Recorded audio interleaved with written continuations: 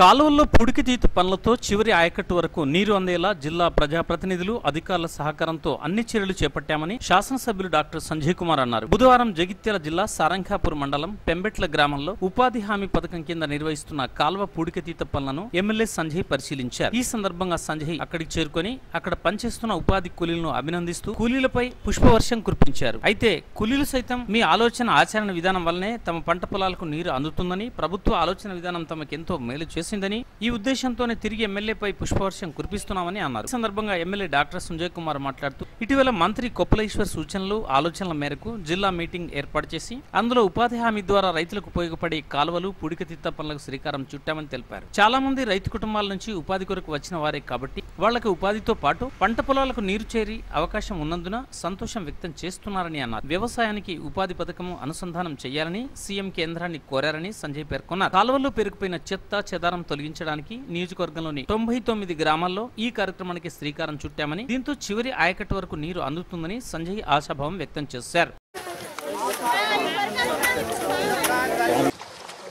చేపలు దొరుకుతున్నాయి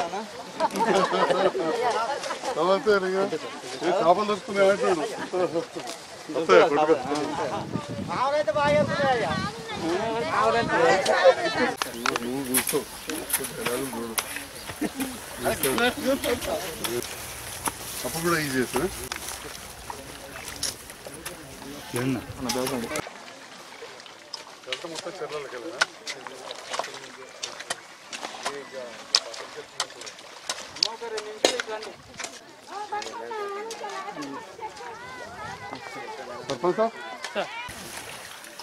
మొత్తం చెర్లకి వెళ్ళినా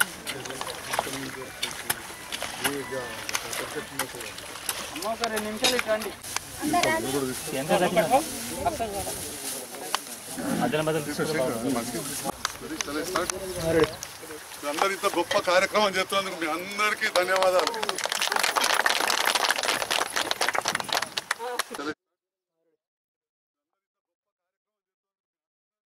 ఆ,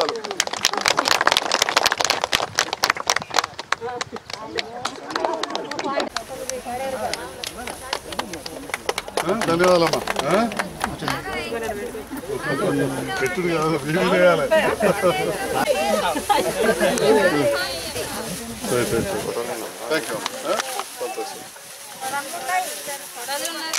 మేము మీకే వెళ్తాలి మీరు చేస్తారు పని.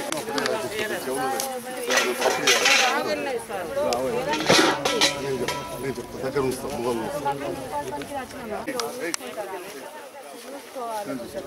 ఉంటా బిడ్డ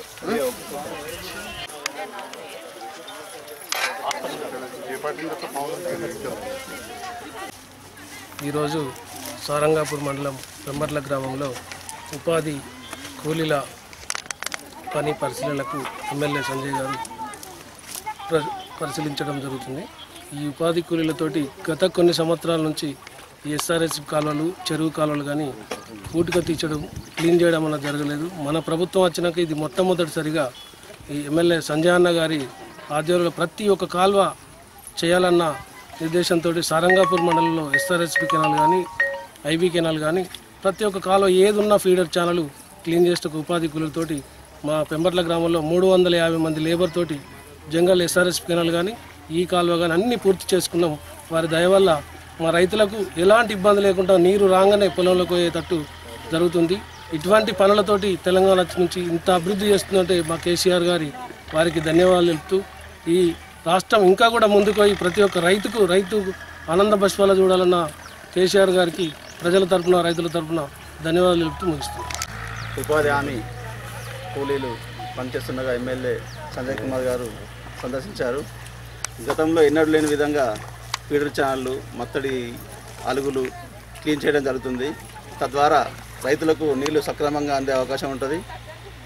ఎన్నో రోజుల నుంచి పేరుకుపోయిన పూడికలు తీయడం అనేది రైతులకు చాలా ఉపయోగకరమైన పని ఇది ఇట్టి పని చేపట్టినందుకు గౌరవ ఎమ్మెల్యే గారికి కేసీఆర్ గారికి ధన్యవాదాలు. అలాగే ఇది రైతు ప్రభుత్వం ఈ ప్రభుత్వం వరధాన్యం కొనుగోలు కూడా పూర్తి చేయడం జరిగింది. అలాగే ఇరవై నాలుగు గంటల కరెంటు రైతు పక్షపాతిగా కేసీఆర్ గారు ఉన్నారు. వారికి మా గ్రామ నియోజకవర్గ పరిధిలోని సరంగాపూర్ మండలం పెంబెట్ల గ్రామంలో చెరువు నుండి పంట కాలువలకు పోయే కాలువ పుడికతీత పనులు. అదేవిధంగా దాంట్లో చాలా కలుపు మొక్కలు కూడా జమై నీరు సరిగా పారడం లేదు. అదేవిధంగా కెనాల్ డిస్ట్రిబ్యూటరీస్లలో చాలా చోట్ల కూడా సిల్ట్ పేరుకపోవడం బుషెస్ రావడం ఈ చెత్త చెదరం ఉండడం చాలా ప్రాబ్లం అవుతుంది. మరి ఈ సందర్భంలో గౌరవ మంత్రివర్యులు కొప్పలీశ్వరరావు గారు మేము జిల్లా స్థాయి మీటింగ్ పెట్టి ఒకరోజు ఒక నిర్ణయం తీసుకున్నాం. ఈ ఉపాధి హామీలో కొన్ని వేల మంది కూలీలు పనిచేస్తూ ఉన్నారు మన ప్రాంతంలో. మరి ఎక్కడో పోయి గుట్ట దగ్గర పనిచేసుడు లేదో ఎక్కడో మట్టి తీయడానికి బదులు మన రైతులకు ఉపయోగపడేది. రైతులకు ఉపయోగపడే విధంగా ఈ కాలువలు శుభ్రపరిచే కార్యక్రమాన్ని ఏర్పాటు చేసాం ఎందుకంటే కూలీలలో కూడా చాలామంది సగం వరకు కూడా రైతు కుటుంబాలలో వచ్చిన వాళ్ళు ఉంటారు. సో వాళ్ళు కూడా చాలా ఉత్సాహంగా ఎందుకంటే ఒకటి ఊరికి సేవ రెండవది రైతులకు వాళ్ళకు పంట పొలాలు చివరి వరకు కూడా నీళ్ళు వచ్చే అవకాశం ఉంటుంది. కాబట్టి కాలువలన్నీ కూడా ఉత్సాహంగా వచ్చి శుభ్రం చేస్తున్నారు. ఈరోజు దాదాపు మూడు వందల ముప్పై ఎనిమిది మంది ఒక్క పెంబెట్ల గ్రామంలో ఉపాధి హామీ కూలీలు పనిచేయడం జరుగుతుంది. వారందరికి కూడా దాదాపు రెండు వందల ఇరవై ఐదు నుంచి రెండు వందల ముప్పై ఏడు రూపాయల వరకు కూడా ప్రతిరోజు కూలి పడే విధంగా కూడా చూస్తూ ఉన్నారు. అంటే ఆ రకంగా పని అలాట్మెంట్ చేయడం జరిగింది. మనం ఇక్కడ చూస్తూ ఉంటే ఇంత పెద్ద పంట కాలువ ఇది. ఎవరైనా తప్పిపోయి టీవీలో చూసి వేరే రకం అనుకో పంట కాలువ. ఈ పంట కాలువలో సాఫ్ చేయడం తర్వాత పక్కకంతా కూడా చాలా తుంగ అదంతా కూడా తీసేయడం జరిగింది. ఈ రకంగా మండలం మొత్తం కూడా ఈ కార్యక్రమాలు నిర్వహిస్తున్నారు. మరి ఇట్లాంటి కార్యక్రమాలను మా గౌరవ ఎంపీపీ గారు జెడ్పీటీసీ గారు సింగిల్ విండో చైర్మన్లు వివిధ గ్రామాల సర్పంచ్లు ఎంపీటీసీలు ప్రజాప్రతినిధులు రైతు సంఘ నాయకులు అదేవిధంగా మా ఎంపీడీఓ గారు ఏపీఓ గారు ఈజీఎస్ అధికారులు వీళ్ళందరూ కూడా ప్రతిరోజు పర్యవేక్షిస్తాం. దాదాపు మేము చూస్తున్న నియోజకవర్గం మొత్తం కూడా ఇదే కార్యక్రమం జరుగుతుంది. తొంభై తొమ్మిది గ్రామాలలో జగిత్యాల నియోజకవర్గ పరిధిలోని తొంభై తొమ్మిది గ్రామాలలో ఇదే కార్యక్రమం జరుగుతుంది. మన జడ్పీ చైర్మన్ గారు మేము కూడా ఒక గ్రామానికి వెళ్ళినాం. ఆ సందర్భంలో కాలువ తీస్తే మామూలుగా ఈ డిస్ట్రిబ్యూటర్ కెనాల్స్ యూజువల్గా ఒక కింద బేస్ వచ్చేసి ఎక్కువ ఎక్కువ రెండు మీటర్ల విడుతుంటుంది. అంటే ఆరు ఫీట్లు ఉంటుంది ఎక్కువ అది హైయెస్ట్ మూడు నాలుగు ఫీట్లు ఉంటాయి. లైనింగ్ ఒక మూడు నాలుగు ఫీట్లు ఉంటుంది. అంటే ఓ three feet by three feet ఓ గజం బై గజం నీళ్ళు వారుతూ ఉంటాయి. కానీ అక్కడ చూస్తే సిల్ట్ ఆ గజం ఎత్తు మట్టి ఉడకపోయినది ఎన్ని సంవత్సరాల నుంచి తీయలేదు. ఆ రైతులు రైతు కూలీల సహకారంతో ఆ మొత్తం కూడా కెనాల్ తీసాం రైతులందరూ కూడా ఆనందంగా ఉన్నారు. ఆ తీసిన సిల్ట్ కూడా రైతులు తీసుకుపోయి పొలాలలో వేసుకుంటారు. ఎందుకంటే అది కొంచెం మంచి లాగిస్తుంది కాబట్టి. ఇక ఇలాంటి చెత్త చెదారం ఉన్న మాత్రం బయటేస్తా ఉన్నాం.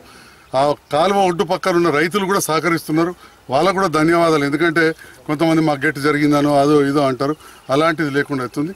ఈ సంవత్సరం అంతా కూడా ఈ కార్యక్రమం తీసుకుంటున్నాం. ఎప్పుడైనా కానీ ఉపాధి హామీ కూలీలను మనము రైతులకు ఉపయోగపడంగా చేయాలి.